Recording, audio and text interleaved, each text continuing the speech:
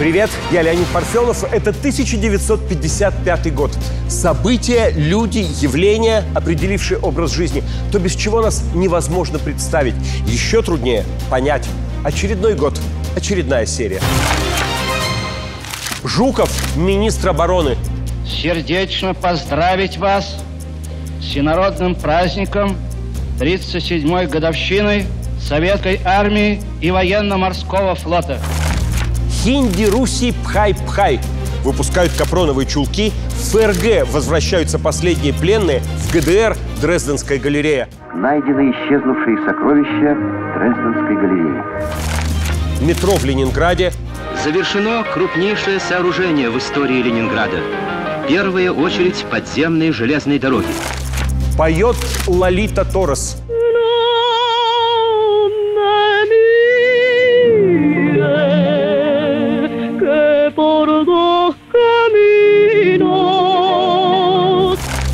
Сокращают советскую армию. Тита больше не бандит. Иосиф Брос Тита поблагодарил советский народ за теплое отношение к Югославии. Эдуард Стрельцов – суперзвезда советского футбола.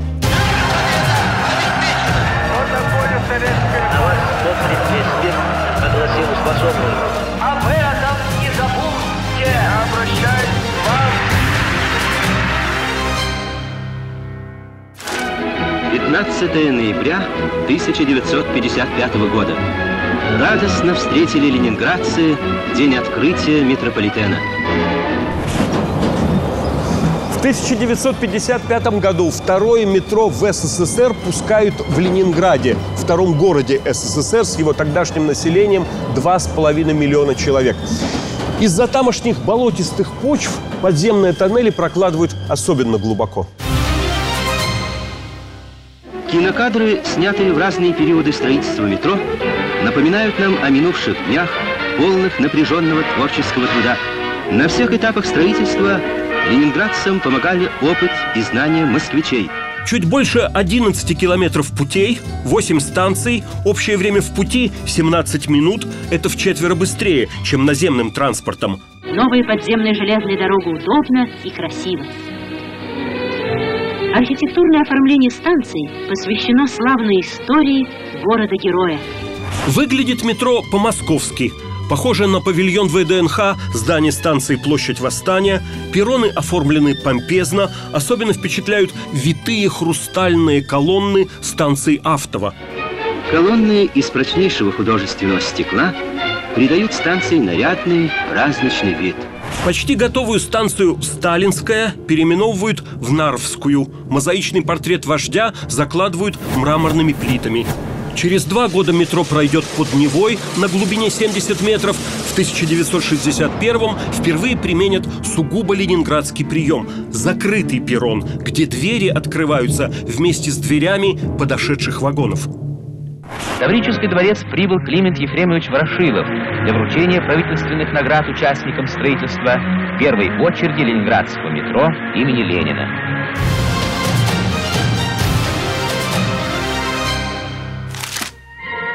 В колхозе имени Маленкова у заведующего фермой Уматова весной особенно много забот. Очередной этап борьбы за полную власть в Кремле. Наследник Сталина Георгий Маленков смещен со сталинского поста председателя Совета министров СССР. Следующие три года первый секретарь ЦК КПСС Никита Хрущев будет править в тандеме с премьером Николаем Булганиным. Председательствующий на совместном заседании Совета Союза и Совета национальностей, председатель Совета Союза депутат Волков предоставляет слово председателю Совета министров СССР Булганину. Прежде ключевой пост председателя Совета министров достается Булганину как явно второму в Думвирате. Через год после 20-го съезда КПСС Хрущев станет уже безусловным вождем и будет брать премьера в заграничные поездки лишь ради протокольных приличий. Хельсинки торжественно встречали товарищи Булганина и Хрущева, приехавших в Финляндию по приглашению правительства и президента республики с дружественным визитом. председатель Совета министров СССР Булганин от себя и от имени члена Президиума Верховного Совета СССР Хрущева поблагодарил за теплую встречу и отметил, что в основе советско-финляндских отношений лежат незыблемые принципы мирного сосуществования. В 1957-м Булганин ошибется во внутрипартийной борьбе, поддержит противников Хрущева.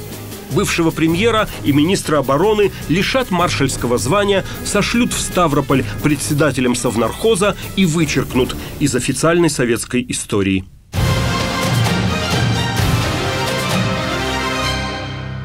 СССР и без того контролирующий страны Восточной Европы образует из них военно-политическую организацию «Варшавский договор».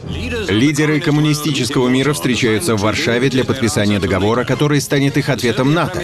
Тысячи жителей Варшавы собрались, чтобы увидеть участников этой встречи, в том числе стоящего на трибуне советского премьера Булганина. Он учрежден в столице Польши, но все командование советское и штаб находится в Москве. Военно-политическое разделение Европы закреплено официально. Блоку НАТО, куда теперь вступила и Западная Германия, противостоят СССР и семь стран Восточной Европы – Албания, Болгария, Венгрия, Восточная Германия, ГДР, Польша, Румыния и Чехословакия. Варшавский договор декларирует невмешательство во внутренние дела, но когда в следующем году Венгрия попытается уйти, ее силой удержит советская армия. Бои продолжаются уже много дней. Временами одерживает верх правительство, временами повстанцы. Как раньше было с ГДР, а позже случится с Чехословакией. Только удаленной маленькой Албании удастся выйти из договора к своему покровителю Китаю. Все решения принимаются в Кремле, главнокомандующим и главой штаба Объединенных Вооруженных Сил всегда будут советские военачальники. Назначен маршал Советского Союза товарищ Конев. Командовать объединенными армиями будет маршал Конев, увенчанный наградами ветеран Второй мировой войны. Стена казалась монолитом, но и она не устояла перед ходом времени. После падения железного занавеса и краха социализма все бывшие советские сателлиты, участники Варшавского договора, поспешат вступить в НАТО.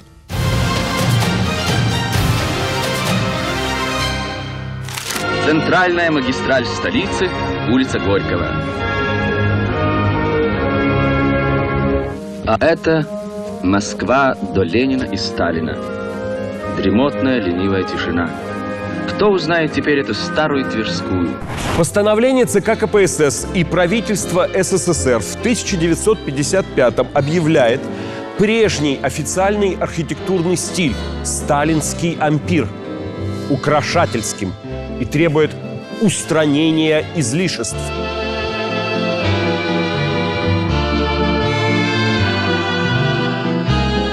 Власть намерена впредь вести почти только типовое строительство эконом-класса. Ну вот как это. Но и сама власть, и население квартиры будут предпочитать все же в сталинских домах. Пять миллионов человек в нашей стране могут с гордостью сказать «Я строитель». Законная гордость. Сталинский ампир теперь считается дважды чуждым, как помпезный и как расточительный. Советскую архитектуру должны отличать простота, строгость форм и экономичность решений. В доме с декоративными аркадами на улице Чкалова в Москве стоимость квадратного метра жилой площади 3400 рублей, когда можно строить и в 2-3 раза дешевле. Жилищная проблема – одна из острейших социальных проблем человечества. Шумный город просыпается, Дышат улицы прохладою, Солнце в небо поднимается Вместе с нашей бригадою. Разом ликвидируется вся прежняя школа зодчества. Упразднена Академия архитектуры СССР как рассадница стиля излишеств – Сняты со своих постов главные архитекторы крупных городов и руководители ведущих мастерских. Иван Шаповалов и его бригада коммунистического труда ведут монтаж легко, уверенно. Ни одна страна в мире не знает таких темпов и масштабов жилищного строительства. Отобрали даже врученные ранее сталинские премии за тот самый дом на Чкалова и за одну из высоток – гостиницу «Ленинградская». Власть, как единый девелопер и риэлтор страны, велит подготовить ранжир. Какими должны быть двух, трех, четырех и пятиэтажные дома – какими школы, больницы, кинотеатры, настолько-то учеников, коек, зрителей. Архитектура сведена к стандартам, а градостроительным символом новой эпохи скоро станут блочные хрущевки. А ленинградские инженеры предложили еще один оригинальный метод скоростного домостроения – на этой схеме вы видите, как дом собирается из целых этажей без помощи подъемного крана. Это быстро, удобно и дешево. В конце 1950-х еще строят кирпичные дома без украшательских излишеств, но по старым параметрам. Потолки, опять-таки гордо именуемые сталинскими, повыше – Просторнее комнаты и кухни, санузлы раздельные. Само начальство так и не переедет из разруганных им сталинок в прогрессивные хрущевки, а со временем закажет себе дома улучшенной планировки, тоже совсем не типовые.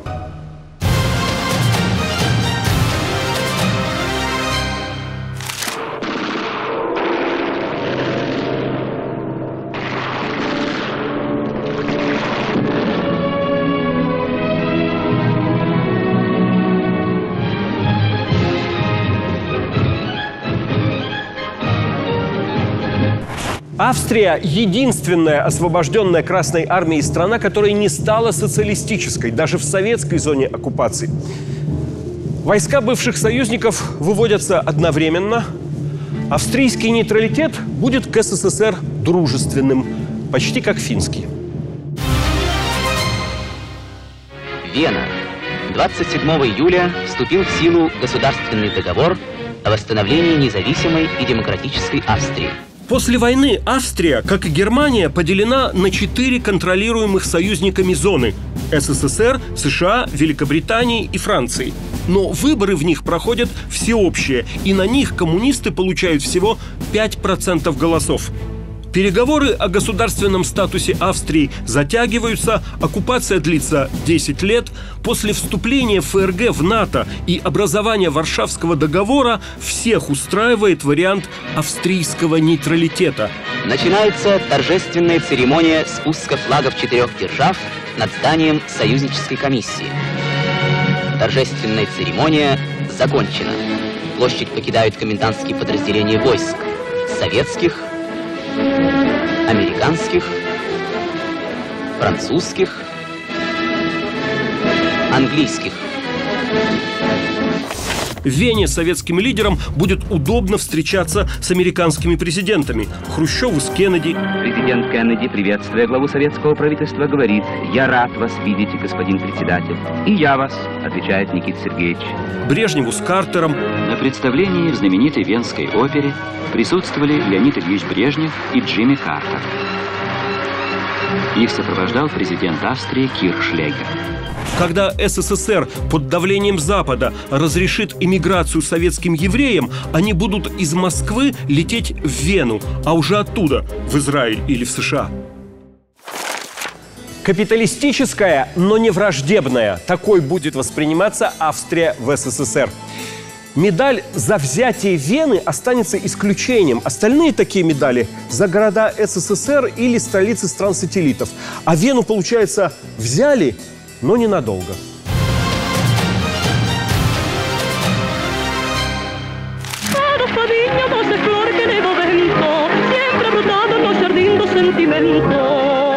В советский прокат выходит аргентинский музыкальный фильм «Возраст любви».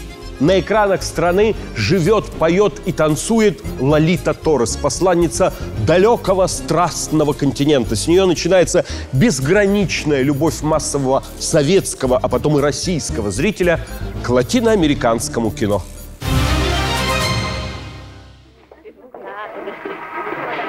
Так это ты новенькая? Как видишь, я Эльвира Кастилия. Тебя как зовут? Анна Мария Росалис. Ну что, пойдем познакомлю тебя с остальными?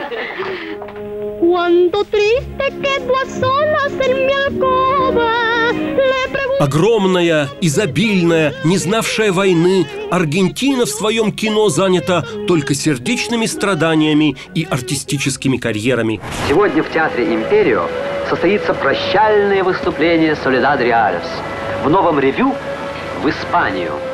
Лолита Торрес играет сразу и влюбленную маму-певицу Солидат Реалес, и влюбленную дочь-певицу Анну Марию Росалес, исполняя как бы два разных репертуара.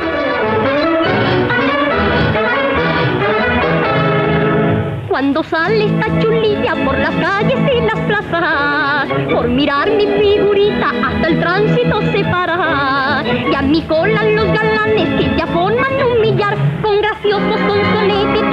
У песен огромный успех в оригинале, но их еще переводят на русский и выпускают в исполнении Александра Коваленко отдельной пластинкой. рассыпают комплименты без конца. Самая предлагает люди руки и сердца. Лолита Торрес впервые приедет в СССР только в 1963 но мода на возраст любви еще не пройдет. Всего же госконцерт привезет артистку на гастроли 14 раз. Считается, что из-за этих визитов советским девочкам начнут давать неведомое прежде имя Лолита. Для своих советских концертов Торрес выучит «Очи черные». Очи черные, очи страшные, очи жгучие и прекрасные.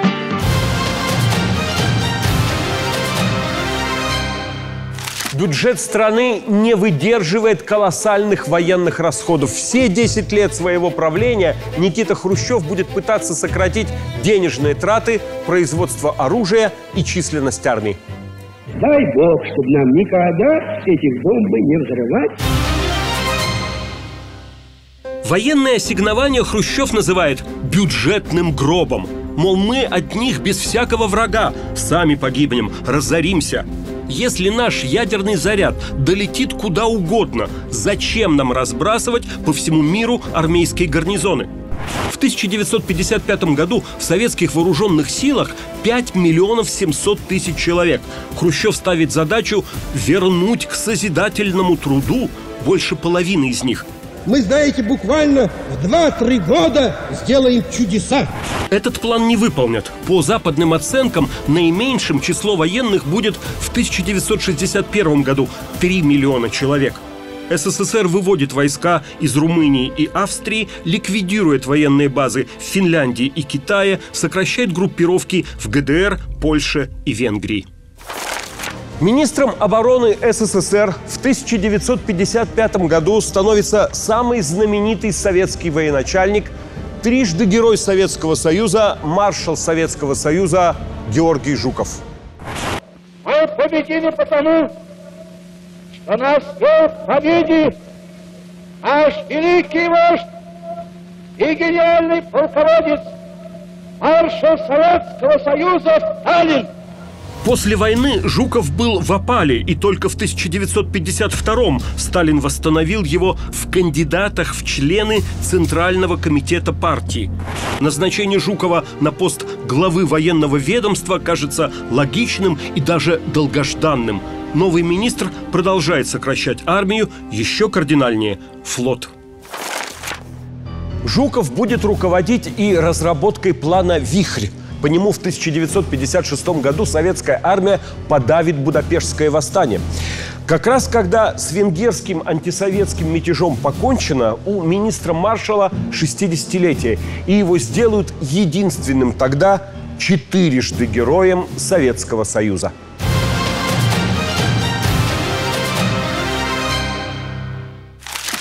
Не нравится мне этот маршал Тита, скажет Сталин в 1948 году уже после того, как будет подписан договор о дружбе, взаимной помощи и послевоенном сотрудничестве между СССР и Югославией.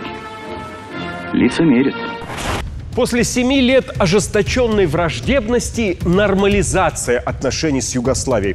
Она происходит на условиях Белграда. То есть Москва признает свои обвинения ошибочными, а бывший югославский изменник Тита остается при своей особой модели социализма.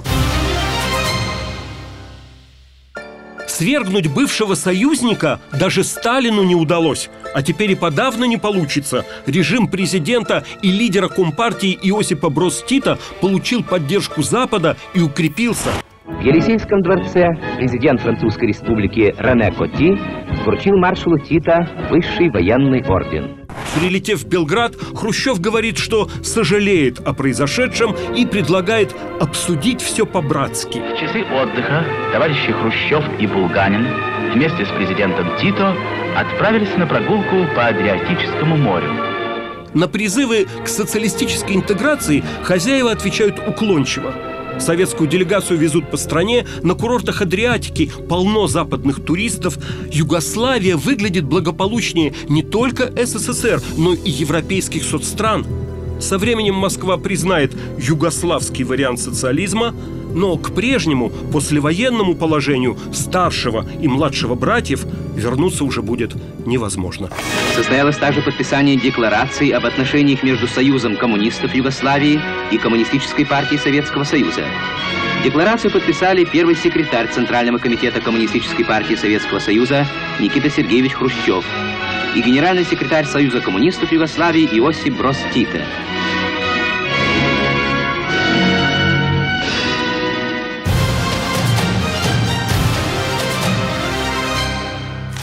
Впервые в СССР освоено массовое производство чулок из нейлона. Их называют капроновыми и даже из искусственного шелка. За последний год на этой фабрике было выработано 15 миллионов километров ниток. Количество достаточное для того, чтобы охватить 375 раз земной шар. Нейлоновые чулки освоены на Западе перед Второй мировой войной. В СССР их начали понемногу производить после победы на трофейном немецком оборудовании. Теперь на новых чехословацких машинах выпускают по 30 миллионов пар чулок в год. Полупрозрачные галантерейные изделия производят эффект второй кожи. Нога вроде обнажена, но стянута. Она постройнела и будто загорела. Для удовлетворения растущих потребностей населения в товарах широкого потребления в нашей стране увеличивается массовое производство трикотажа. Только чулочно-носочных изделий в последнем году семилетки будет выпущено свыше миллиарда пар. Качество чулок из соцстран гораздо выше, но в целом в 1960-е годы уже большинство горожанок будут носить отечественные или импортные капроновые чулки, пока не появятся капроновые колготки. Капроновые чулки с дырками или стрелками не выбрасывают, пытаясь зашивать, но не так рьяно, как прежде хлопковые. Старыми чулками конопатят рамы на зиму. Сложенный и простроченный на швейной машинке чулок превращается в мочалку для мытья посуды. А еще чулок можно набивать луковицами. Очень удобно для хранения. Капрон пропускает воздух, а шелуха не осыпается.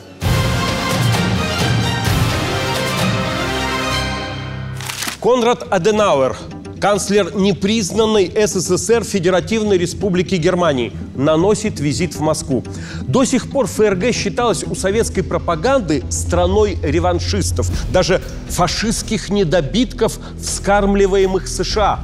А теперь СССР устанавливает с этой германской недемократической республикой дипломатические отношения, и на родину возвращаются последние немецкие военнопленные.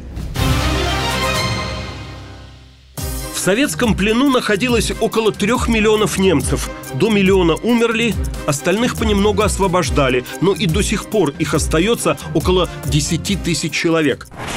8 сентября в Москву по приглашению советского правительства прибывала правительственная делегация Германской Федеральной Республики. В дипотношениях с ФРГ Кремль заинтересован. С признанной капиталистической Западной Германией проще преодолеть международную изоляцию социалистической Восточной Германии. Но переговоры идут трудно.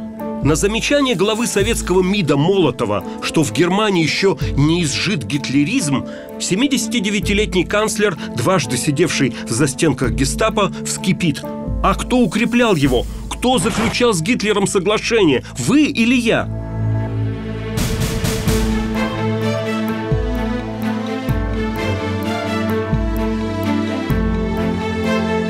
Der Reichsminister des Äußeren von Ribbentrop begab sich auf dem Luftwege nach Moskau, um die Verhandlungen zum Abschluss zu bringen. Договариваются, что сначала дипотношения, а потом, под честное слово Хрущева, выдача пленных – Уезжая, Аденауэр заявляет на пресс-конференции о неокончательных восточных границах Германии. В своем заявлении канцлер Аденауэр выразил надежду, что приезд правительственной делегации Германской Федеральной Республики явится началом установления нормальных, хороших отношений между Советским Союзом и Германией. Дома его встречают как вызволителя соотечественников. Во многих советских городах после пленных немцев остаются построенные ими жилые кварталы. Опрятные кирпичные оштукатуренные дома, чаще двухэтажные, на 16 квартир. По тем временам это совсем неплохое жилье. В конце 20 века при втором русском капитализме их нижние этажи почти везде займут маленькие магазины и службы сервиса.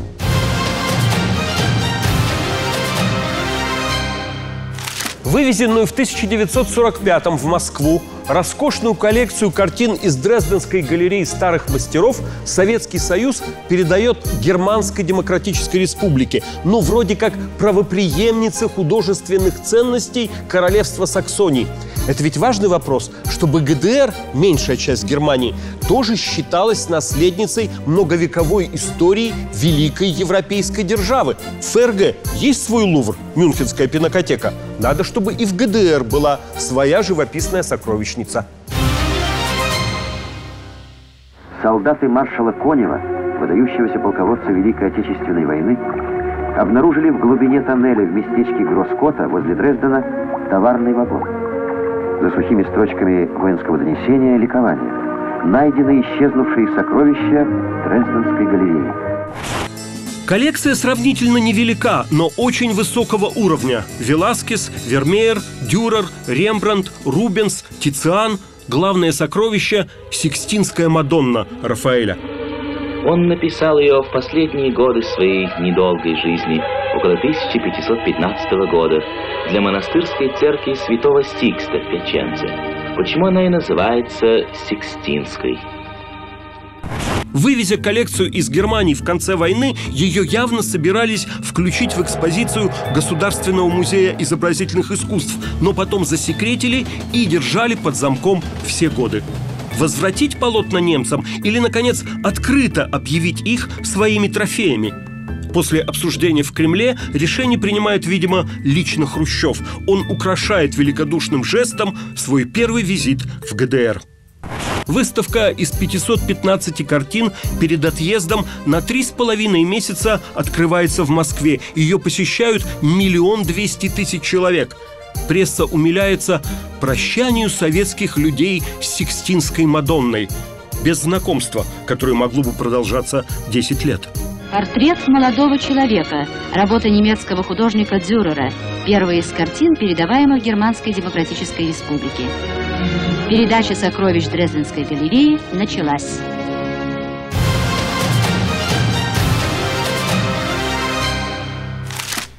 В 1955 году в сборной СССР дебютирует 17-летний игрок московского торпеда Эдуард Стрельцов. Уже в первом своем матче со сборной Швеции он забивает три гола и станет самым знаменитым нападающим самой успешной эпохи отечественного футбола. 2 мая в матче на первенство страны по футболу встретили столичные команды «Спартак» и «Торпедо».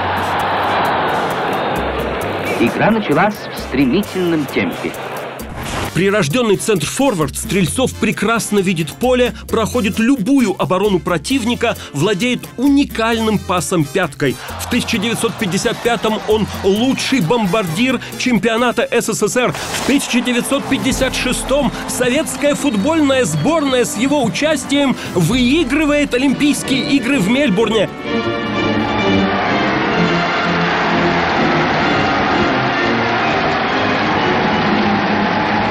На 100 дней сезона 57 года у Стрельцова приходится 31 гол.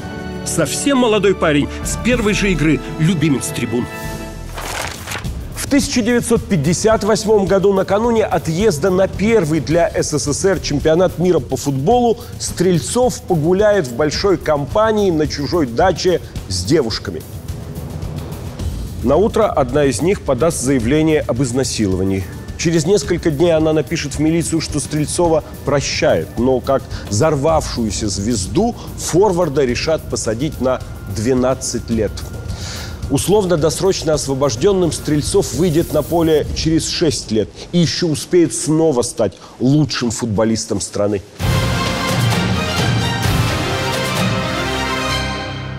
Хинди, Руси, пхай-пхай. Советская пропаганда подхватывает индийский лозунг «Индийцы и русские братья». Его на языке оригинала использует пресса и даже Никита Хрущев в своей речи во время визита в Индию. Дружба со вторым азиатским гигантом будет для СССР очень кстати при расстройстве братства с первым азиатским гигантом – Китаем.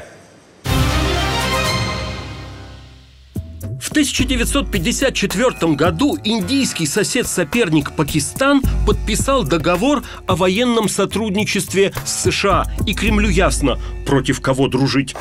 В июне 1955-го индийского премьер-министра Джавахарлала Неру первым встречают в Москве в новом формате. Не только церемония в аэропорту, а проезд по городу в открытом лимузине мимо тысяч приветствующих москвичей. 22 июня в Кремль вместе со своей дочерью Индирой Ганди прибыл премьер-министр Индии Джавахарлал Неру.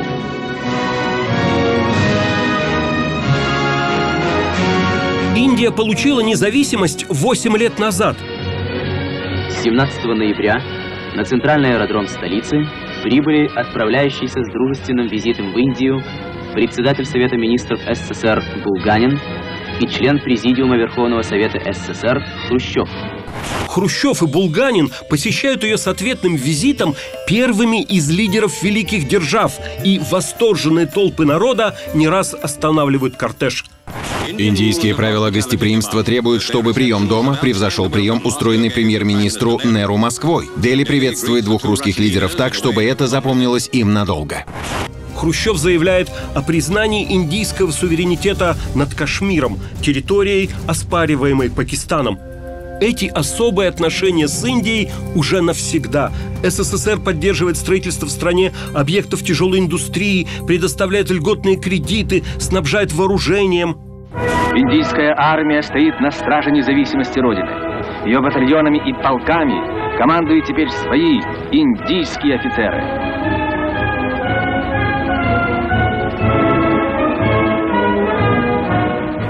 При этом Индия останется неприсоединившейся страной, лидером одноименного движения.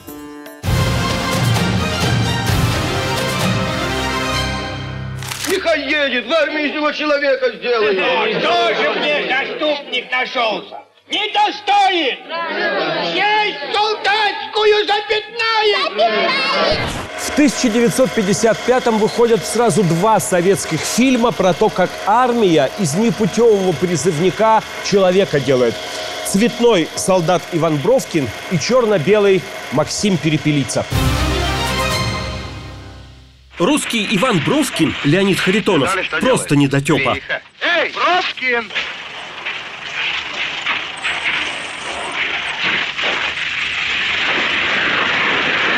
Что, голубчик, подшутить вздумал? Она сама вырвалась, загадалась. Я ее... Ой! Украинец Максим Перепелица, Леонид Быков, еще и хитрец-проказник, отлынивающий от работы. Было бы лучше в это время кушать грушевый компот. Лично для меня. Ну а ты, а что ты не на кухне? Там ребята душевные ценят. Но советская армия любого перевоспитает. Бровкин получит звание ефрейтора. Особо отмечаю четкую, умелую работу наводчика. Как его выражаю? Ефрейтор Бровкин, товарищ полковник. Ефрейтора Бровкина. Перепелица младшего сержанта. Это что, командирский? Сержантские. Ох, скажи ты! Кажется, ребята служат в соседних подразделениях. Обоих парней дождутся девушки. Ивана – Любаша, Максима – Маруся. Ты знаешь, когда увидел, что ты гарбуза в хату понесла, думал для меня. тебе гарбуза, Максим. Да я для тебя вышитыми рушниками дорожку в хату выстелю. Известная актриса Татьяна Пельцер в Бровкине «Солдатская мать». Дорогая мама, это тебе письмо, тетя Ну, конечно. Я у него одна мама. А в Перепелице бабка-соседка. Ну как тебе растолковать? Вот у нас обычай такой. В фильме «Максим Перепелица» вся страна впервые видит автомат Калашникова, главное стрелковое оружие советской армии. Танк выведен из строя. А как же воевать? Соображайте. Трактористы, пушку вниз! Отделение за мной! Самус прикрой огнем! Ватя, давай! А ну действуй, как я!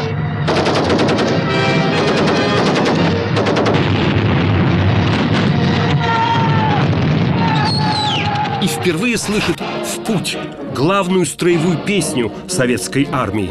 Пусть враги не запомнят это, негрозимо говорим. Мы прошли, прошли с тобой полсвета, если надо. Угроза, если что, можем повторить свой приход куда-то. Останется надолго.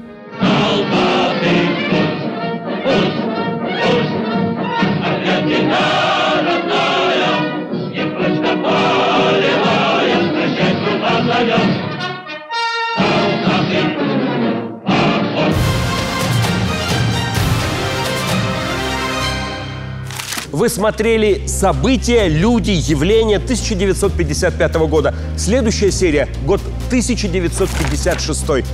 Сборная СССР по футболу выиграла Олимпиаду.